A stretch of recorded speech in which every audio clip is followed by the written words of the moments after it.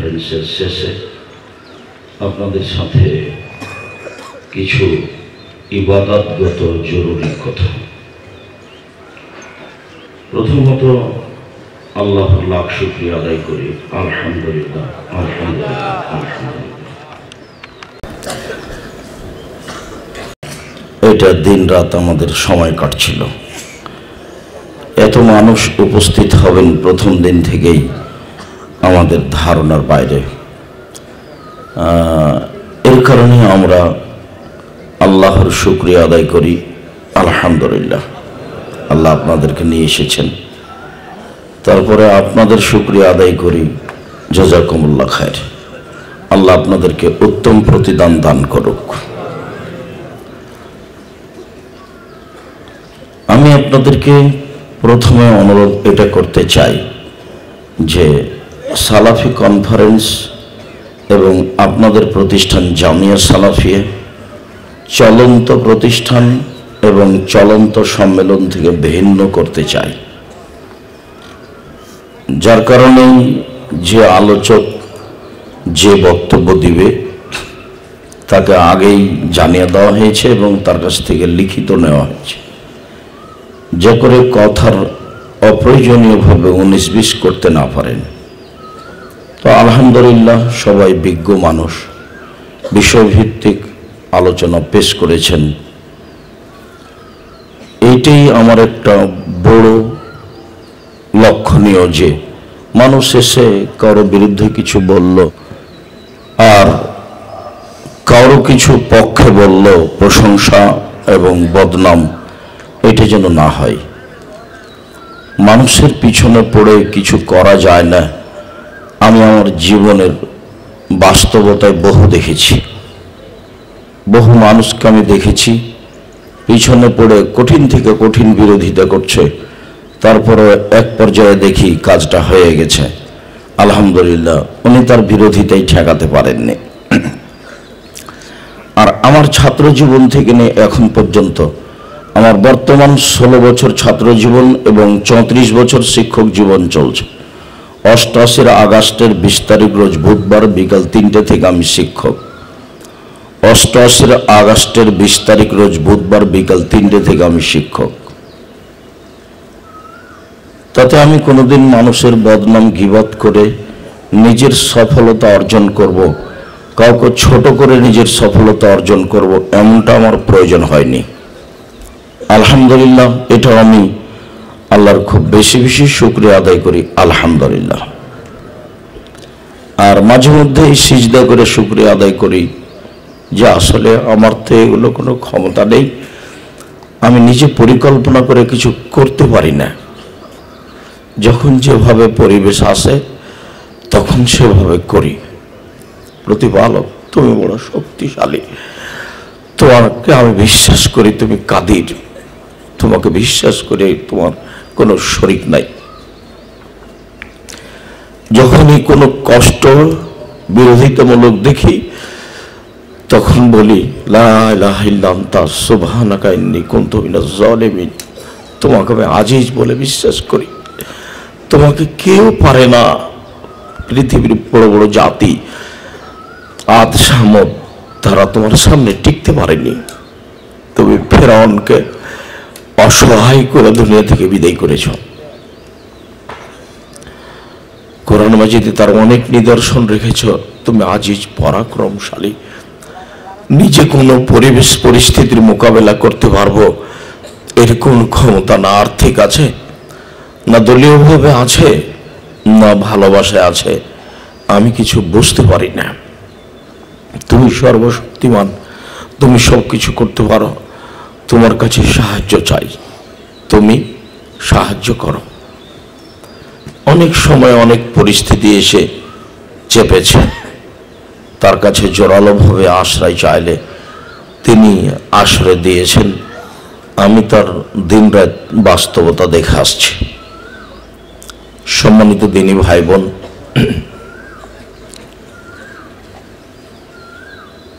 প্রথম থেকেই এই প্রতিষ্ঠানে ওরকমই সমস্যা দেখেছি আমি। জামিয়া সালাফে ডাঙ্গিপাড়া তো আমি এরকম অবস্থা দেখেছি। তারপরেও আমি কোনো সময় নিরাশা হইনি। নিরাশার পাতা আমি পড়ি না। আমি সবসময় বলতে থাকি, আমি কাজে সফল হব ইনশাল্লাহ এটা আমার দৃঢ়তা কাজ করে যে আমি দশের পয়সার ক্ষতি করি না। আর মানুষের বিরোধিতা করি না। মানুষের বদনাম গিবাদ করি না। আমি কাজে সফল হবই হব ইনশাআল্লাহ। এটা আমার দৃঢ়তা সবসময় কাজ করে। আমি একেবারেই সাধারণ, নিঃস্ব মানুষ। বাস্তবতায় জামিয়া সালাফে আপনি দেখতে পাচ্ছেন, আলহামদুলিল্লাহ। আজকের সালাফি কনফারেন্সের শেষে আপনাদের সাথে আমার প্রথম যেটা জরুরি কথা, সেটা হলো এই। অল্প কয়দিন বাঁচতে এসেছি, বেশি দিন বাঁচব না। দেখেছিলাম একদিন বয়স চল্লিশ বছর, দেখি একদিন ষাট, তারপরে দেখি কিছুদিন পরে তার জানাজা। এ হলো সব মিলে জীবন। তাই রাসুল সাল্লাম বলেছেন, মানুষের জীবনে চারটা ধারা, একটা আর্থিকভাবে যা খেলো, তা পায়খানা নষ্ট হলো। যা পড়ল, তা পুরাতন হলো। যা দান করল, তা জমা হলো। এরপরে যা ছেড়ে গেল, তা মানুষে ভাগ করে নেবে। যেটা আমি বক্তব্যে বহুদিন বলেছি, বলতেই আছি। সম্পদ কিন্তু আপনার মানুষে ভাগ করে নেবে। ছেলেমেয়েরা ভাগ করে নেবে। ভাতিজারা ভাগ করে নেবে। প্রয়োজনে মারামারি করে ভাগ করবে। প্রয়োজনে মামলা করে ভাগ করবে। তার নাম হলো সম্পদ। আল্লাহ নবী আহাল পরিবারকে নিশ্চয় ছেড়ে যেতে নিষেধ করেছেন। আহাল পরিবার যেন মানুষের কাছে হাত না পাতে, এ ব্যাপারে বাপ যেন চিন্তা ভাবনা করে, এইটা আল্লাহ নবী বলেছেন। আর ছেলে মেয়ের ব্যাপারে লালন পালনের ব্যাপারে আল্লাহ নবী বলেছেন আনফে করা এ আলেক মিন তাওলেক। তোমরা তোমার উপার্জিত সম্পদ তোমার ছেলে মেয়ের পিছনে খরচ করো। যখনই আপনি জামিয়া একটা ছেলে পড়ানোর পরে দরখাস্ত লিখেন কমানোর জন্য, তখন আমি মনে করি আসলে আপনি বুঝতে পারেননি যে ছেলে মেয়েকে কীভাবে পড়াতে হবে। আর না হয় আপনি সচ্ছলতা ঠিকই আছে, মনের খেয়ালে এসে আপনার দরখাস্তটা লিখলেন, আমি পাঁচশো টাকা কমিয়ে দিলাম, আর আপনি আমার বাচ্চাটাকে এক হাজার টাকা দিয়ে গেলেন খাওয়ার জন্য। ও তখন সব পচা বিস্কুট, চানাচুর, কি যেন এগুলো খেয়ে সব শেষ করল। এক তেল দিয়ে সতেরো বার তেল দিয়ে একই জিনিস ভাজা আছে। যার ফলাফল পেট খারাপ হবে, বাচ্চাটাকে দিয়ে গেলেন সেটাই। বাচ্চাটা খেয়ে ক্ষতিগ্রস্ত হলো। আপনি আর আমি কিছু বুঝতে পারলাম না। আমি মনে করি, যারা পুরুষ অভিভাবক, যারা মহিলা অভিভাবক, আপনার উপার্জনের টাকা পয়সার খরচের প্রথম স্তর ছেলে মেয়ে। এই কথা আল্লাহর নবী বলেন। দশ টাকা ইনকাম করেছেন, এটা খরচ শুরু করতে হবে ছেলে মেয়ে দিয়ে আল্লাহ রসুল বলছেন, ওয়াদ্দাবে মাতা হলো তুমি রসুলকে জিজ্ঞাসা করা হলো, আয়ু সদকাতা আফজাল? সবচেয়ে উত্তম দান কোনটা? তখন রসুল বললেন, জহদুল মকিল্লে। গরিব মানুষের পরিশ্রম করে দান করা। পরের বাক্য হলো ফদ্দাবেমা তাউল পরিবার থেকে খরচটা শুরু করো। পরিবারে খরচ করলে দানের নেকি হয়। প্রথম দিন হয়তো বা মনে ছিল না, নাকি আমি বলেছি কি না আমি বলতে পারব না। আল্লাহ রসুল বলছেন, তুমি যে পয়সাটা উপার্জন করছ, এটা পরিবার থেকে খরচ শুরু করো, এতে তুমি দানের নেকি পাবা। তা আপনি যে উপার্জন করছেন, এই খরচটা কোথা থেকে শুরু হবে? আমি যখন বাড়িতে কোনো কাজ করতে যেতাম, তখন আমার বাপ আমাকে বলতো, বেটা আমার পরে করিও। গরুটা যদি আমি এক খোঁটা খোঁটা বুঝেন কিনা জানি না। এক খোঁটা দোকান যখন আর এক খোঁটা নিয়ে যেতাম, এখানে বাঁধা আছে, এখান থেকে খুলে ওখানে নিয়ে যেতাম, তখন আমার বাপ আমাকে বলতেন, বেটা, ওটা আমি করব। তোমাকে যদি কোনো কাজ করে খেতে হয়, তা আমার, তাহলে আমার পরে খায় আমার বাপে একটা কথা, আমার সারা জীবনকে এক পাল্লায় দিলে সমান হবে না। বেটা যদি তোমাকে কাজ করে খেতে হয়, তাহলে আমার পরে খায়ও। আল্লাহ মকফিরাহ আরাহ আল্লাহ মকফির আবি। ও ওর ফাদার জাতা ফিল বাহাদিন অফসালাহ ফি কাবরি নাব্বিল্লাহ ফিহে। যখন আমার আব্বা টাকা পাঠাতেন ইন্ডিয়া তখন আমার ছোট বোনকে লিখে নিতেন, লেখা থাকতো, সরিষা বিক্রি এত টাকা, কালাই বিক্রি এত টাকা, ধান বিক্রি এত টাকা, মরিষা মসুরি বিক্রি এত টাকা, মোট এক হাজার টাকা পাঠালাম। সাত আট দিন যাবৎ আমার এই খেয়াল থাকতো, আমার আব্বা এক হাজার টাকা জমা করতে অনেক পরিশ্রম করেছে।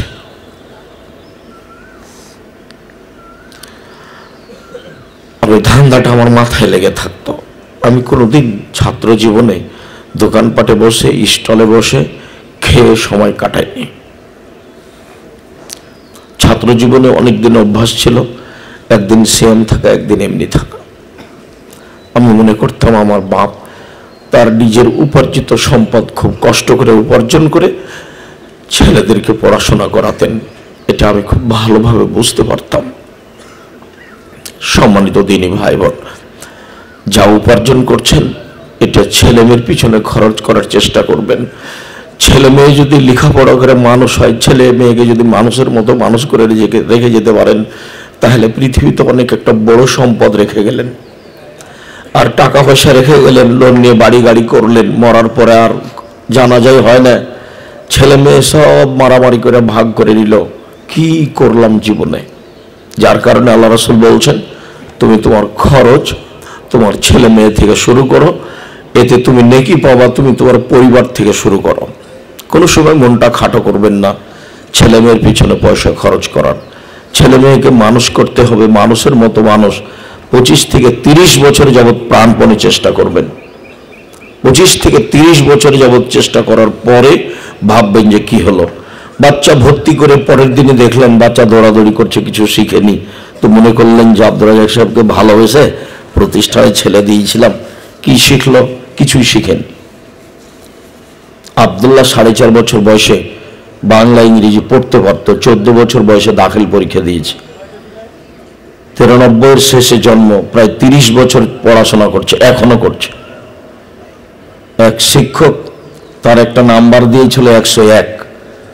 তখন আর শিক্ষকরা বলছেন আব্দুল সামাদ সালাফি, স্যার এত একশোর উপরে নাম্বার হয় কেমনে? তো বলছে যে, দেখো, বহু খাতা আমার জীবনে আমি দেখেছি তাতে আমি একশো নাম্বার দিয়েছি। তা আমার জীবনে শিক্ষক হিসেবে যত খাতা দেখেছি, তার চেয়ে যেটা আমার কাছে ভালো হলো, তা আমি এখন কি করব, তাই আমি একশো এক নাম্বার দিয়ে দিয়েছি। তো তারপরে তো আবদুল্লাহ পড়ছে, এখনও পড়ছে। আমরা কোনো সময় চিন্তা করি না, কখন পড়া শেষ করবে, কখন কাজে লাগবে, এটা চিন্তা করি না। আপনি বাচ্চাটা ভর্তি করেই, পরের দিন দেখলে মারামারি করছে বা যা শিখে এসে সেটা ভুলে গেছে। তখন মনই খারাপ। যে আমি আমার বাচ্চাকে যা শিখিয়েছিলাম, সেটা তো ভুলে গেছে আমার বাচ্চা। না, কি হলো এখানে? এমনি যখন ফোর ফাইভে পড়ছিল ওয়ান টুয়ে পড়ছিল, তখন দু, তিনটে বাক্য শিখিয়েছে যে হেড মানে মাথা হ্যান্ড মানে হাত। তাই এসে দেখছে যে জিজ্ঞাসা করে যে হেড মানে কি? তখন ভুলে গেছে। তো বলছে, আরে, তুই যেটা মুখস্থ করেছিলি এখানে ভুলে গেলি? আমি একদিন আবদুল্লাহকে পাঁচ, ছয় বছর বয়সে, কি সাত, ছয়, সাত বছর বয়সে ওই হ্যান্ড মানে হাত হেড মানে মাথা এরকম বলছি। তো ওর আম্মা হেসে উঠে বলছে, শোনেন, মাইকেল মধুসূদন দত্ত লন্ডনীদের হারিয়ে দেবো বলে ইংরেজি শিখে লন্ডন গেছিল। তা আপনি কি মনে করেন মাইকেল মধুসূদন দত্ত ছয় বছর বয়সে ইংরেজি শিখেছিল?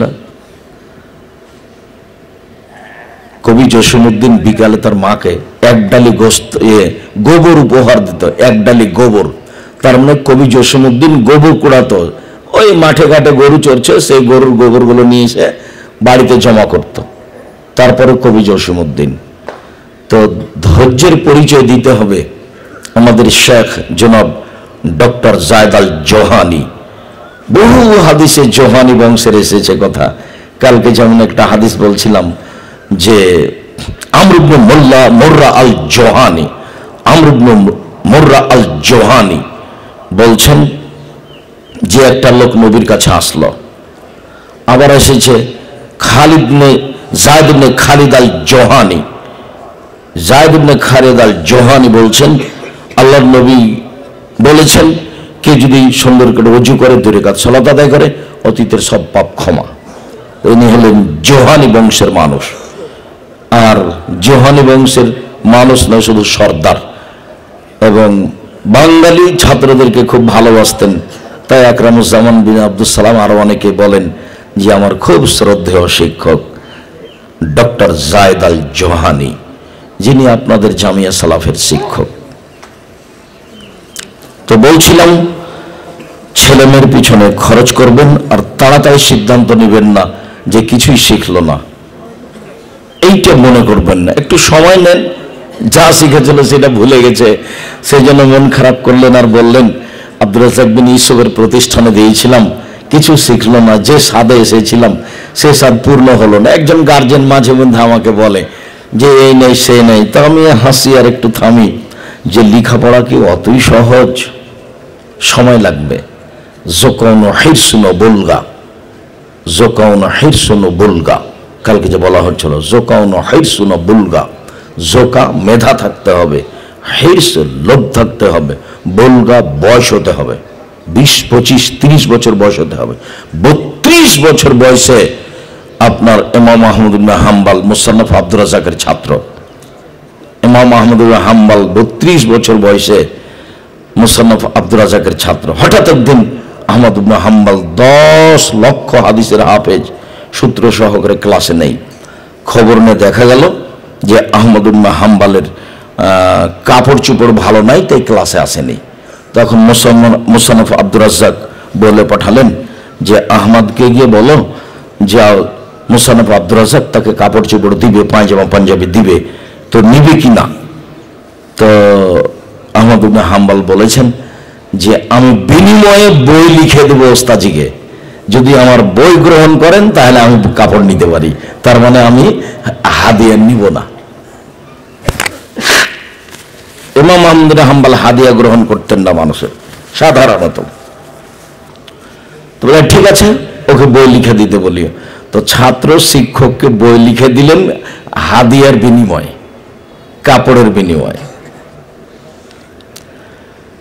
আহমদ ইবনে হাম্বালকে একদিন ইমাম সাফেই বলছেন, আহমদ, তোমার জন্য আমি একটা চাকরি পদ ঠিক করেছি। ইরাকের তুমি বিচারক হিসাবে তোমাকে আমি নির্ধারণ করতে করব বলে কথা বলেছি। তখন ইমাম আহমদ ইবনে হাম্বাল বলছেন ওস্তাজি আমি একজন শিক্ষানবিশ ছাত্র মাত্র, শিক্ষা অর্জন করছি। শিক্ষার পরে সরকারি চাকরি করব, এরকম হিসাব আমি আহমদ করিনি। তখন এমন সাফি বলছেন, Muhammad bin Idris Shafi Ahmad, তুমি যে আমার ছাত্র এটা আমার গর্ব। তোমাকে চাকরি করা লাগবে না। তুমি যে আমার ছাত্র এটা আমার গর্ব। পৃথিবীবাসী বলবে, আহমদ ইবনে হাম্বালের শিক্ষক এবং সাফি আহমদ ইবনে হাম্বাল, আহমদ ইবনে হাম্বালের শিক্ষক এমাম সাফি এটাই আমার গর্ব, আহমদ। তো এমাম সাফি একদিন তার মেয়েকে বলছেন যে, আম্মু, আজকে আমাদের বাড়িতে একটা মেহমান এসেছে, অনেক বড় আলেম। তো এইটা এখন কে জানি সত্যকে মিথ্যে জীবনীতে লেখা আছে। তো মেয়ে ভালো প্রস্তুতি নিয়েছে, খাওয়াটা রেডি করেছে। বড় মাওলানা কি করে সারা রাত দেখব? তো খেতে বসে বেশি খেলেন। মেয়েটার মন খারাপ হলো। যারা খাবে আলেম ওলমা, কম খাবে, এবাদত বেশি করবে। তারপর সারা রাত পরীক্ষা করলেন, তাহাজ্জুদ পড়লেন না। তো তাহাজ্জুদও পড়লেন না। তাহলে কেমন বড় মাওলানা হলো? তো আব্বা, আপনি যা বলছিলেন তা আমাকে ভালো লাগল না। কেন?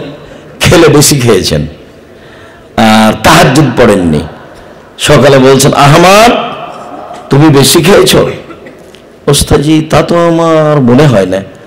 আমাকে যা দিয়েছিল খাচ্ছিলাম তো খাওয়া শেষ করলে মনে হচ্ছে যেন রহমত কমে যাচ্ছে।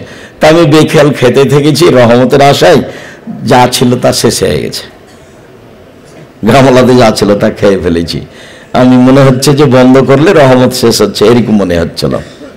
তারপরে আমি একটা মশলা নিয়ে খুব চেষ্টা করছিলাম, পড়াশোনা করছিলাম, সারা রাত এই হবে, এই সমাধা হবে, এই সমাধা হবে, এরকম চেষ্টা করতে করতে ভোর হয়ে গেছে। আমি তাহাজুদ পড়তে পারিনি। আর শিক্ষা তাহাজুদের চেয়ে অনেক বেশি দামি। শিক্ষা অর্জন করা ফরজ আর তাহাজুদ হলো সোননাথ নফল। যার কারণে আমি তাহাজুদ পড়তে পারিনি। আহমাদ, ঠিক করেছ।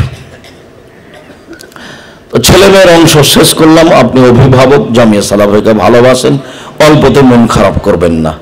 আর স্ত্রীকে, বোনকে বলবেন, যারা আপনারা বিদেশে আছেন, স্ত্রীকে, বোনকে বলবেন, এসেই যেন একটা কোনো মহিলার উপরে, কোনো শিক্ষিকার উপরে, কোনো গার্জেনের উপরে, কোনো গার্ড পাহারাদারের উপরে মন খারাপ না করে। তারা নিয়মের উপরে আছে। আর আপনি এসেই দেখছেন যে কোন শিক্ষিকা আপনার মেয়েকে মেরে দিয়েছে। তখন আপনি পাগল হয়ে গেলেন যে কেন মারবে? এই সে, আর দাগ দেখে আপনি মন খারাপ করছেন। আপনি শুনে রাখেন, আমি আব্দুল রাজাক বিন ইউসুফ, আমার ছেলের শিক্ষক আমার ছেলেকে মারতে মারতে যদি মেরে ফেলে দেয় আমি আব্দুল রাজাক বিন ইউসুফ জানাজা করে দিব। আমি জিজ্ঞাসা করব না আপনি কেন মারলেন। এটা আমি জিজ্ঞাসা করব না, আমি এই পাতাই পড়ি না। আমি বিশ্বাস করি যে আমার ছেলেরও শত্রু নয়, আমার মেয়েরও শত্রু নয়। অবশ্যই তার কাছে কোনো দুষ্টামি ধরা পড়েছে সেই জন্য সে মেরেছে। মেরেছে মেরেছে। আমিও তো আমার ছেলে মেয়েকে মারি। শিক্ষক মারতে মারতে যদি একেবারে মেরেই ফেলে দেয়, আমি আব্দুর রাজাক বিন ইসব জিজ্ঞাসা করব না যে আপনি শিক্ষক হয়ে আমার ছেলেটাকে মেয়েটাকে মারলেন কেন? এটা আমি জিজ্ঞাসা করব না। আমি ওই বাপ, ওই মা চাই, যেই বাপ মা আগে ছিল এই যে ছেলে দিয়ে গেলাম। হাড় হাড্ডি জমা দিবেন, গোস্ত আপনার হাড় হাড্ডি আমার। এইরকম বাপ হলে শান্তি পাওয়া যাবে পড়িয়ে। আরেকটা কথা মনে রাখবেন শিক্ষককে যখন চোখ দেখালেন হ্যাঁ আপনি আমার ছেলেকে মেরেছেন। আপনার ছেলেকে এই শিক্ষক আর কোনোদিন পড়া জিজ্ঞাসা করবে না। যদি এরকম বলে থাকেন, তাহলে ছেলেকে নিয়ে চলে যেতাম মনে করতে হবে, এই ছেলে আর পড়া এখানে হবে না। ওই শিক্ষক পড়াবে না তো। আপনাকে যদি আমি শিক্ষক করে দিই কাল থেকে, আর আমি যদি আপনার উপরে চোখ গরমাই, তাহলে আপনি আমার ছেলেকে আর পড়াবেন না। কি ঠেকা বেঁধেছে? চোখ দেখব এভাবে? সময় ছেলে মেয়েকে শিক্ষক শিখিয়ে মেরেছে, যার কারণে মন খারাপ করবেন না। একজন মহিলা ওর স্বামী থাকে কি না, কাল পরশু থেকে বাসায় দেখছি খুব কান্নাকাটি করছে প্রথম হেডম্যাডারে হাত পা ধরছে। সেটা কি? শিক্ষিকা কোন শিক্ষিকা তার মেয়েকে মেরেছিল? সেই জন্য মেয়ে নিয়ে একবার সরাসরি মহিলা মানুষ থানায় চলে গেছে। তারা থেকে পুলিশ চলে এসেছে প্রতিষ্ঠানে। তো বেইজ্জতি ব্যাপার। তো এখন ওই কয়েকদিন থেকে আমার ভুল হয়েছে, আমার ভুল হয়েছে, আমার মেয়েটাকে নেন। তো আমরা তো ওই যে দেখে বলে, যার ছেলেকে কুমিরে খাই তাকে ঢেঁকি দেখে ভয়। আপনি মহিলা মানুষ, আপনার মেয়ে সহ থানায় চলে যেতে পারেন। আপনার মেয়ে আমাকে আবার নিতে হবে।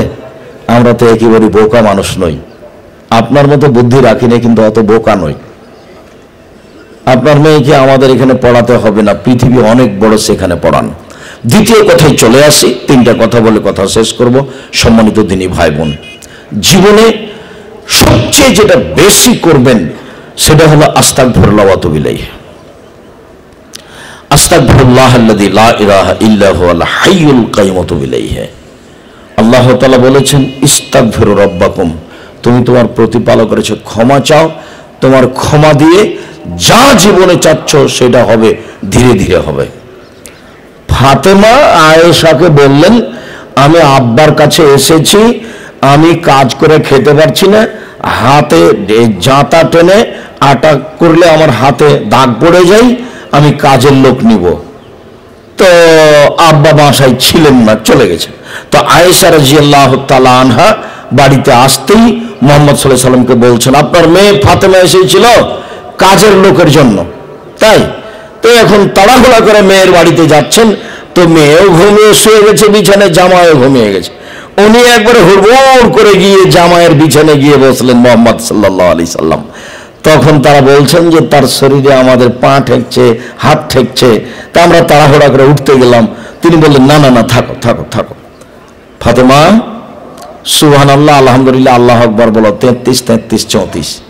আচ্ছা তাসবি দিয়ে কাজের লোকের কি হবে? কাজের লোক চাইতে গেলেন, কিন্তু কাজের লোকের পরিবর্তে কি দিলেন? হ্যাঁ তাসবি। এইটা কোন এটা কেমন কথা হয়ে গেল? তাসবি আপনি করেন, কাজের লোক হবে ইনশাল্লাহ ওই কাজের লোকের মাধ্যম দিয়ে গেলেন তাসবি। ইস্তেকভার করেন, পথ সব সহজ হবে ইনশাল্লাহ যত বেশি ক্ষমা চাইবেন, আপনার দুনিয়াবী সমস্যা তত বেশি সরবে। বিপদ দেখলে বলবেন, লা ইলাহা ইল্লা আনতা সুবহানাকা ইন্নী কুনতু মিনাজ জালিমিন আল্লাহ বলেছেন, আমি ইউনুসকে বিপদ থেকে বাঁচিয়েছি। পৃথিবীর যে কোনো মানুষ বিপদে পড়ে এই কথা বলবে, আমি তাকে বাঁচিয়ে দেব। খুব খারাপ লাগলে রাতে উঠে দুই রেখাত সলাত আদায় করে। কিছু চাইলে রাতে উঠে দুই কাজ সলাত আদায় করে, হাতটা একটু বেশি করে উঠাবেন। বেশি করে উঠিয়ে প্রথমে দুয়া ইউনুস পড়বেন। اللهم إنا نسألك بأنك أنت الله لا إله إلا أنت الأحد الصمد الذي لم يلد ولم يولد ولم يكن له كفوا أحد দোয়া ইউনুস যদি এটা যদি আহ, ইসমা আজম মুখস্থ না থাকে তাহলে ইউনুস পড়বেন লা ইলাহা ইল্লা আনতা সুবহানাকা ইন্নী কুনতু মিনাজ জালিমিন যদি দোয়া ইউনুস না থাকে তাহলে সূরা ফাতিহার প্রথম তিন আয়াত আলহামদুলিল্লাহ রাব্বিল আলামিন আর রহমানির রহিম মালিক ইয়াউমিদ্দিন এটাও আপনার ইসমে আজমের স্থানে কাজ করবে। ইসমে আজম মুখস্থ থাকলে ভালো, না হলে দুয়া ইউনিসি ইসমে আজমের স্থানে। আর যদি সেটা না হয়, তাহলে সুরা বাকার, সুরা ফাতেহার প্রথম তিন আয়াত। তারপরে দরুদ পড়বেন। তারপরে আপনি নিজের কথাগুলি বলতে থাকবেন, কান্নাকাটি করে বলবেন। এবার অবস্থা শোনেন। এক, হাত তুলে দোয়া করলে আল্লাহ ফিরে দিতে লজ্জা পায়। দুই, চাইলে খুশি হন। না চাইলে রাগ করেন। তিন, ইসমে আজম পড়ে দোয়া করলে কবুল হবেই। চার, দরুদ পড়লে দোয়া উপরে চলে যায়। আর দরুদ না পড়লে দোয়া উপরে যায় না, থেকে যায় নিচে। তাহলে তো দরুদও জটিল ব্যাপার। বুঝতে পারেননি? দরুদ না পড়লে দোয়া উপরে যাবে না।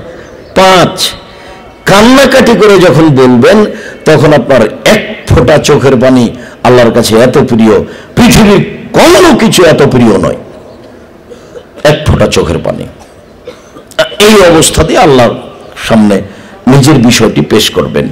তারপরের কথাটি হচ্ছে এই যে নিজে পঁচাত্ত সলাত আদায় করবেন, ছেলে মেয়েকে শক্ত হাতে পরিবারকে দমন করার চেষ্টা করবেন সম্মানিত দিনী ভাই বোন। কাল থেকে এসে কষ্ট করছেন সালাফি কনফারেন্সে এসে বৃহস্পতিবার থেকে। কতদূর পর্যন্ত নিলেন আর কতদূর পর্যন্ত রেখে গেলেন, আমি বুঝতে পারছি না। তবে আমি চাচ্ছিলাম আপনি শুরু থেকে এসে বড় বড় বিদ্যান বিষয় ভিত্তিক কথা বলবে। আপনি সেগুলো শোনেন এবং মানার চেষ্টা করেন। আমি যখন ছাত্র জীবনে কোনো প্রোগ্রামে সম্মেলনে যেতাম, তখন যে কয়েকটা টাকা থাকতো, আমাকে কিনে খেতে হবে এটা বুঝতাম না। ওই টাকা দিয়ে বই পুস্তক কিনে নিতাম।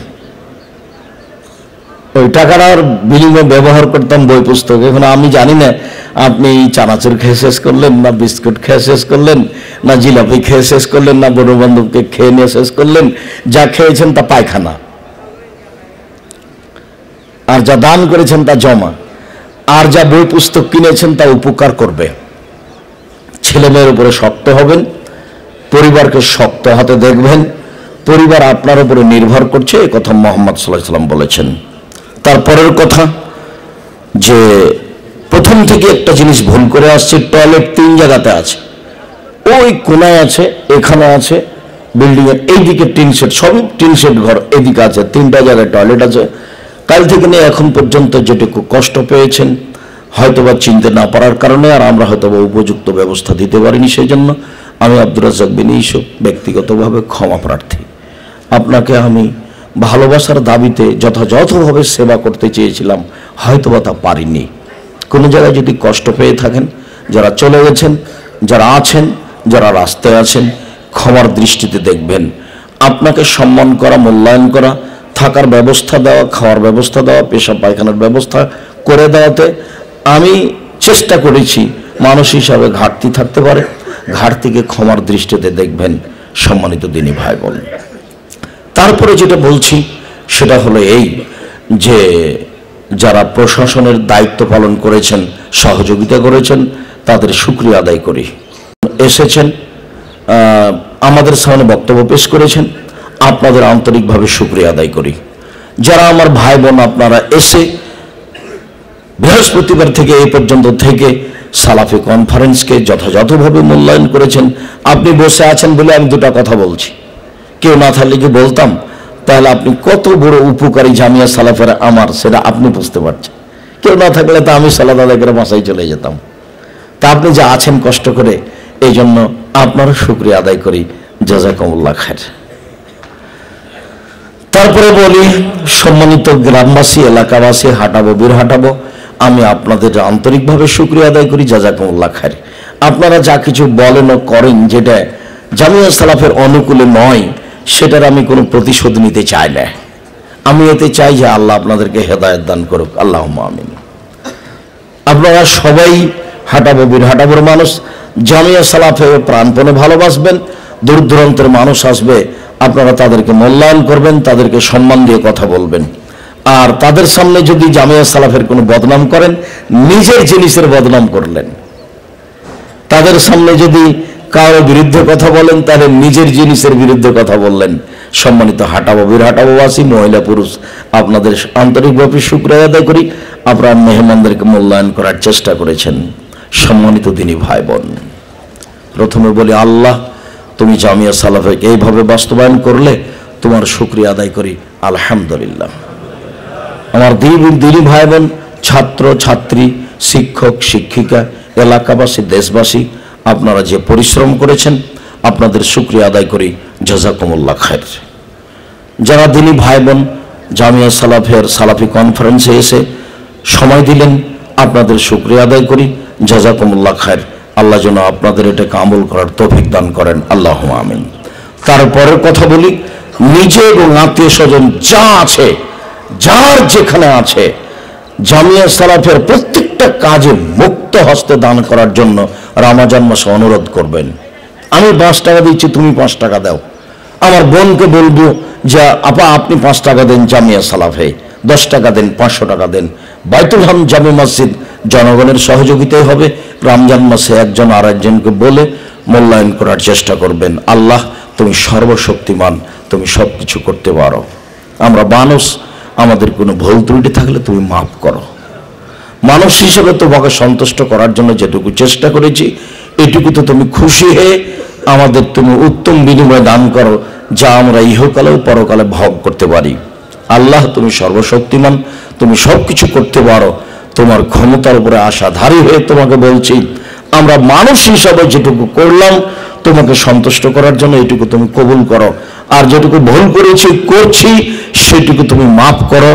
তুমি গাফর ক্ষমাশীল আমরা বিশ্বাস করি। তুমি রহমান দয়াশীল, আমরা বিশ্বাস করি। তুমি হালিম, শাস্তি দিতে দেরি করো, ভুল করলে আমরা বিশ্বাস করি। তোমার সব ক্ষমতা গুণাবলীকে বিশ্বাস করি। দিনকে যেমন রাত বলি না, দিন বলে বিশ্বাস করি। রাতকে যেমন দিন বলি না, রাত বলে বিশ্বাস করি। এরকমই দৃঢ় চিত্তে তোমাকে বিশ্বাস করি। লা শারিক, তোমার কোনো শরিক নেই। কাদির তুমি সর্বশক্তিমান, আজিজ তুমি সর্বশক্তিমান। তোমার এই শক্তি ক্ষমতার উপরে বিশ্বাস, আস্থা রেখে তোমার দরবারে জামিয়া সালাফের সার্বিক দায় দায়িত্ব কাজ সমর্পণ করে আমরা সাধারণ ক্ষুদ্র মানুষ, তোমার রহমতের আশাধারী হয়ে জামিয়া সালাফে সালাফি কনফারেন্সের আজকের আলোচনা শেষ আলোচনা, বিদায়ী আলোচনা এখানেই শেষ করলাম। সুবহানাক আল্লাহ হামদিকা আশহাদু আল্লাহ ইলাহ ইল্লা আস্তাগফিরুকা ওয়া আতুবু ইলাইক। আসসালামু আলাইকুম ওয়া রাহমাতুল্লাহ।